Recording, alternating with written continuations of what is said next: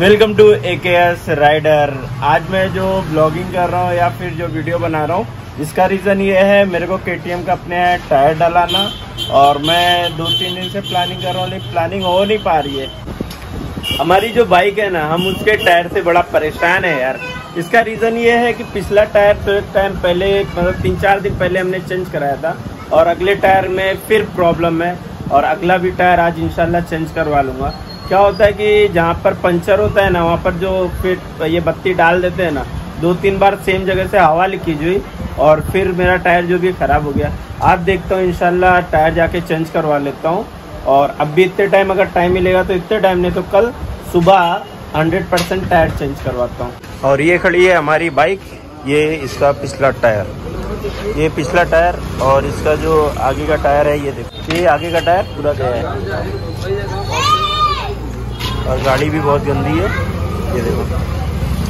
अभी मैंने गाड़ी जो है वो बाहर निकाला है। बाहर इसलिए निकाला कि अभी मतलब करीबन करीबन हो रहे हैं साढ़े आठ। अभी मैंने अपनी गाड़ी दिखाया। गाड़ी का क्या है, क्या हाल है, टायर का क्या नहीं। और अभी कल क्या है संडे इसके लिए मैं सोच रहा हूँ कि आज ही मैं टायर जो है इसका चेंज करा लेता हूँ।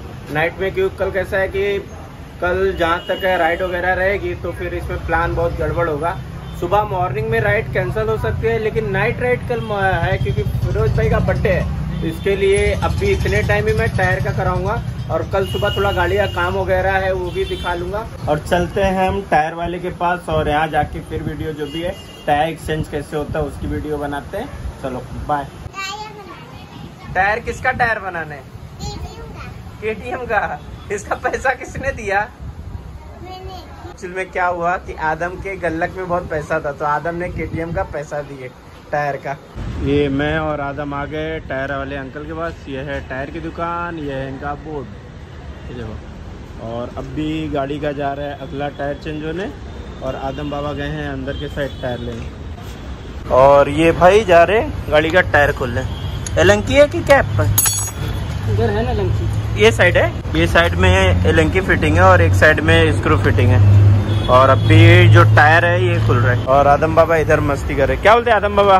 नीचे के साइड जो है उसको जैक लगाना पड़ता है जो जाके गाड़ी उठती है। चलो ये भाई लोग सब जैक लगा रहे और आगे का टायर उन्होंने दिया था साढ़े तीन हज़ार और पीछे का टायर उन्होंने दिया था साढ़े चार हज़ार। समथिंग आठ हज़ार में आगे पीछे का दोनों टायर हो गया। और एम आर एफ़ का था। पीछे का टायर का एक हफ़्ता हो गया इसलिए गंदा हो गया। आगे का आज चेंज करवा रहा हूँ। इस टाइम नहीं कराया था। तो भी निकल रहा था हवा वगैरह। क्या बोलते भाई मज़ा आ रहा है। जो आपने हवा भरा था उसी पे चला रहा था देखो सब निकल गया हवा। क्या हो गया? एक केटीएम का टायर निकल गया। ये टायर खोलने का तरीका। ये बीच में मशीन लगाए और ये मशीन लगा के क्या आवाज़ आती है कितनी बारी? ये टायर आ गया हमारे हाथ में और रिंग है सामने। और यही जगह पे बार बार पंचर होता है, देखो। यहाँ पर कम से कम बाहर से, ये साइड से दिखाता हूँ। ये एक मिनट, ये देखो। इधर एक पंचर दिख रहा है और इधर ये साइड देखो, कितना मतलब तो कितना सारा पंचर है।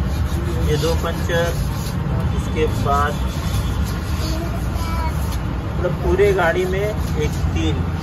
यहाँ पर ये तीसरा पंचर और यहाँ तीन और भी पंचर है। करीबन करीबन पाँच छः पंचर इस टायर में थे। और टायर की जो क्वालिटी थी वो भी मतलब ख़त्म हो गई थी ग्रिप वगैरह। और अच्छा किया, मैं वक्त पे टायर चेंज करा लिया और ये रिम वगैरह साफ़ कर रहे साफ़ करके अच्छे से इसको कर देंगे।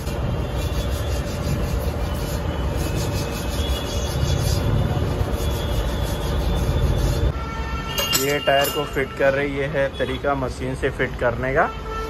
फिट कर रहे